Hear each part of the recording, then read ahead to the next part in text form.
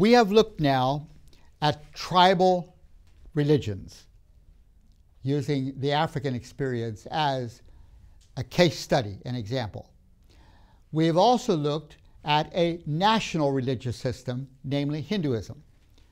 And we've seen how, particularly the churches and the Muslim community, have pressed that Hindu understanding, which is what the BJP would be about, uh, to urge that India not become a Hindu state, a Hindu nation, but a secular state. But we've seen how a Hindu state would function uh, as uh, within, within that Hindu Indian experience. So we've looked at Hinduism as a national religion in India.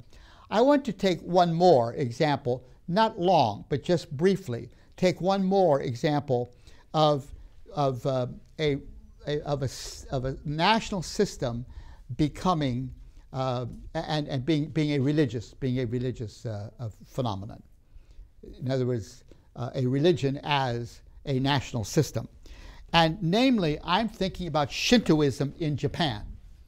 And the reason I'm uh, mentioning this briefly is because uh, it keeps coming up almost every year in our news in one way or another, the Shinto religion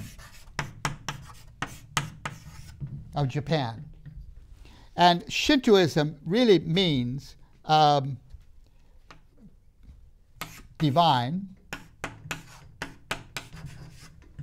Shin is, means divine. To, way. Shinto, divine way. That's what it means. Shinto, Shinto. Now, what is this divine way? The divine way is the way of the kami.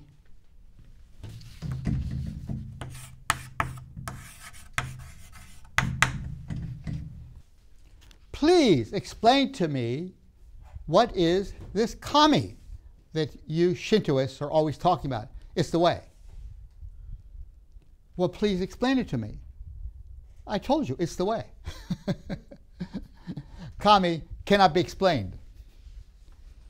It's early in this class we talked about religions relating to the mysterium. Uh, I think that's the best way to attempt to express what Kami is about. It's the mysterium. It is that other area, that other region of life that we can't see, we can't feel, but we sense it's there. Uh, what it's all about, we don't know. That's Kami. And so Shintoism is the way of the Kami and there are hundreds and hundreds of thousands of kami. Uh, I suppose in African traditional religion, they may express these kami as being spirits. Uh, but that is too restrictive, the Japanese would say. Yes, it's spirits, but it's, every, it's, all, it's all the mysterious phenomenon that whirls around us, that is present around us, and so forth and so forth. Uh, it's the way of the kami. That's, that's what it is. Now, how did the kami come to be? Well, there was the sun god called Amaterasu.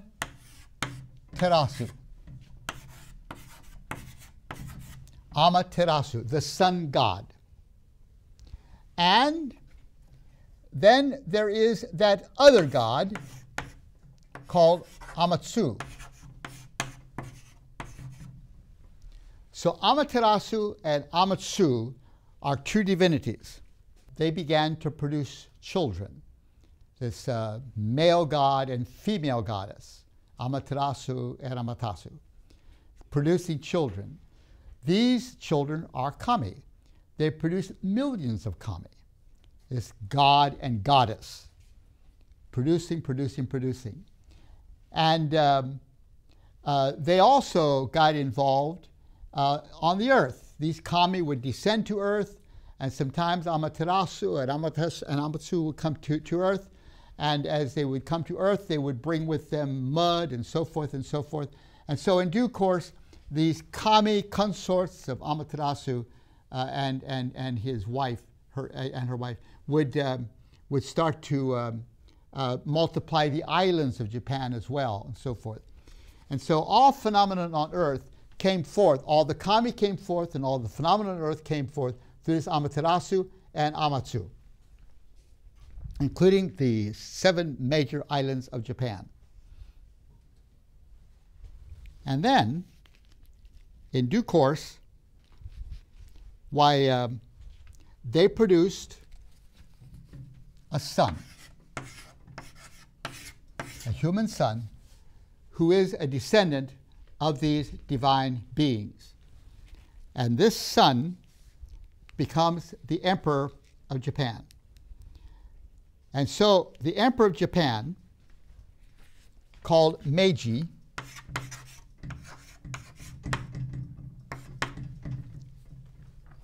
the ancient emperor of Japan, called Meiji, is the son of this Amaterasu, the sun goddess.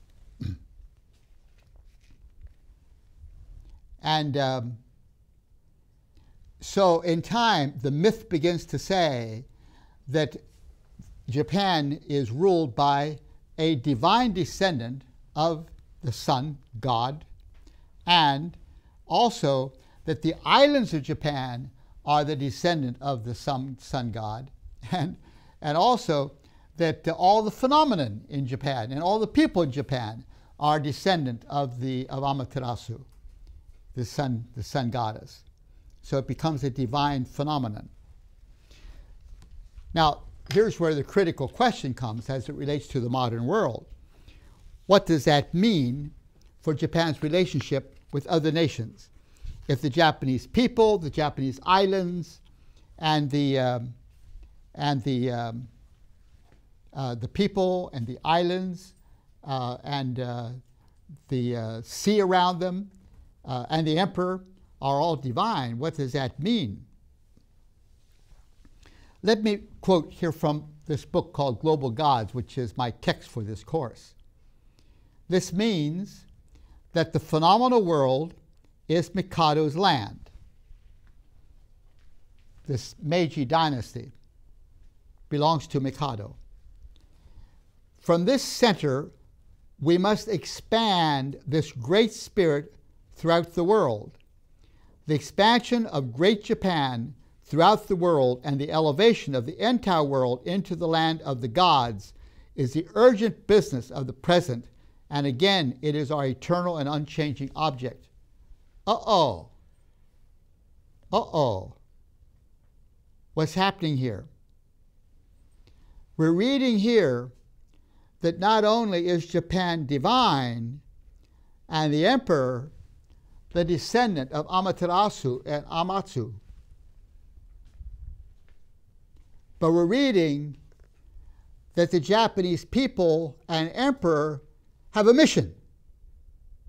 To do what?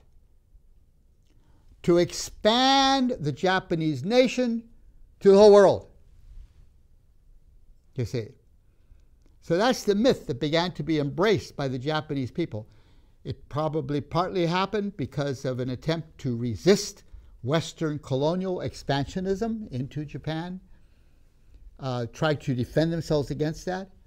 Hey, you know what? We're divine and we're going to take you on if you're not careful. That kind of spirit began to enter the culture, but it's rooted in this Shinto myth that we're talking about, you see. So here's a religion, a religious uh, development, uh, which moves not just from saying that these kami that are produced by Amaterasu and Amatsu, that these kami are the islands and so forth, but it moves now to say the emperor is a descendant of these divinities, and not only is the emperor descendant, but that he has a mission with the Japanese people to extend the Japanese empire to the ends of the earth. And that's exactly what happened. That's what World War II was, as far as the Japanese participation in it. That they saw their mission was to extend the Japanese empire throughout all of Asia and to the regions beyond. That's why they bombed Pearl Harbor, the U.S. Uh, uh, islands out there, Pearl Harbor. You know, it's why they moved into into uh, uh, Indonesia and on into uh, Philippines and so forth in World War II. Became a very expansionist empire, rooted in a theology, in a religiosity, which condoned what they were doing because they are really uh, the uh, they're really divine progeny, the sons and daughters of, uh, of divinity. In the war, in due course, Japan was defeated. And when Japan was defeated, the uh, Allied powers, the US and, and the powers fighting with the US, demanded that the emperor declare that he is not God. They had a public ceremony where he signed documents declaring that he is not divine, that he is not the descendant of this divine pair, Amaterasu and Amatsu. He is not their progeny, their descendant. He is not divinity. Now just try to imagine the philosophical and theological and religious turmoil, transformation that something like that brings about. I mean, here the Japanese people have laid down their lives fighting for their emperor, whom they believe was God. I mean, thousands and thousands died fighting for this emperor.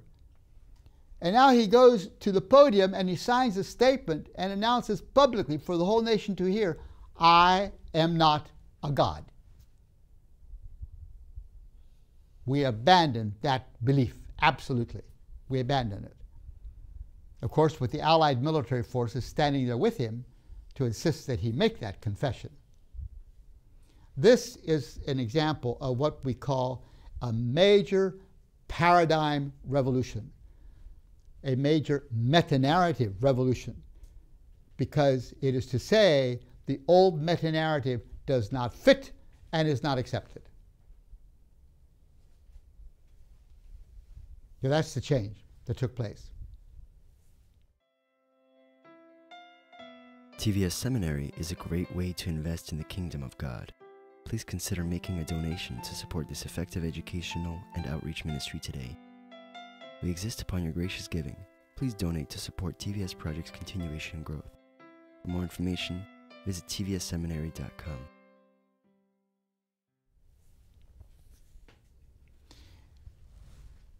Now, that doesn't mean that Shintoism has died. All across Japan, you have these Shinto shrines, something like 100,000 of them, where people will go and do their obeisance. It's all linked up with ancestor veneration, all that kind of thing. So the emperor declaring that he's not divine does not mean that Shintoism is finished. Uh, the Shinto notion, the way of the kami, and the veneration of these kami and so forth continues. And the annual pilgrimages to a whole variety of Shinto shrines across the country uh, continues. People go on these pilgrimages. It becomes a great big family festival, getting together. And, and uh, I won't take time to go into the various festivals. But in various ways, they all have to do with cleanliness and getting your sins um, uh, dealt with and washed away in, in, the rivers of Japan and so forth, you know. It's that sort of thing that goes on in these, uh, in these variety of, uh, of, of, Shinto ceremonies and pilgrimages and so forth. It's still very much a part of Japanese life. The thing, however, that causes dismay by the surrounding countries is that in recent years, Japanese prime ministers have gone to the Shinto Shrine of the War Dead in Tokyo. This is a shrine built in memory of those who died in World War II, fighting for the emperor who is divine. And in recent years, okay, several times this has happened, where the prime minister goes with multitudes of others who lost loved ones and so forth in the war, goes with them to this shrine of the war dead. Now, why would it be that when that happens, as happened not so long ago, you would have huge um, uh, gatherings in Beijing, China, for example, protesting that the, that the prime minister has gone to the shrine of the war dead. Why would the Chinese in Beijing, many miles away from Japan, be so upset about this? Well, it's a reminder of World War II and what happened there. And the concern that if the emperor begins to open the door to a veneration of the war dead, it could open the door towards a reinstatement of this kind of theology that led Japan into World War II. That's the concern. That's the concern. Not only has the prime minister gone to the shrine of the war dead, but uh, there's other shrines as well, which the Japanese people take part in, uh, the shrine of the nation and so forth. There's not so much concern about that, however. The concern is this pilgrimage occasionally to the shrine of the war dead. So here you would have an example of a national religious system which has brought disaster and the desire of a people to turn away from that disaster to reconstruct the religious paradigm in a way which fits in the modern world, but a perplexity as how to do appropriate recognition of the sacrifice of the many, many who died fighting for Japan, to recognize what they have done uh, in a respectful way, um, without kindling anew the patriotic fervor that brought Japan into World War into World War uh, II. So that's the, that's the dilemma. And so in the newspapers and so forth, when you read about uh, the occasion about this prime minister heading out there to the tomb of the war dead and how that uh, in Korea or in Singapore, wherever there has been demonstrations opposing, objecting to this, you understand why. It's that, it's that sort of concern. Yeah.